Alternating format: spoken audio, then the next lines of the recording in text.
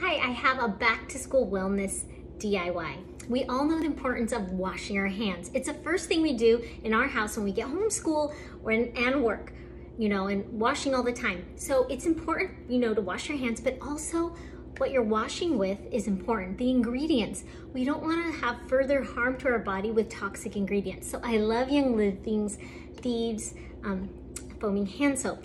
I also love to DIY it sometimes too. So here's a recipe two tablespoons Castile soap. Another thing I love to do is reuse bottles, so that's what I'm doing.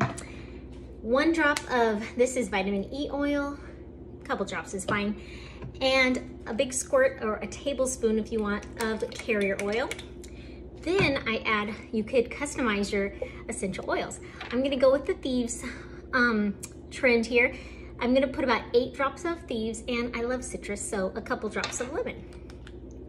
Then I'm gonna fill it up with distilled water. That helps so no um, bacteria grows. I know in our house though, it's um, we go through hand soap quick. Do you see how fast this is? I'm gonna make sure I leave a little bit of space um, so that this doesn't squish out. So there you go, easy DIY hand soap.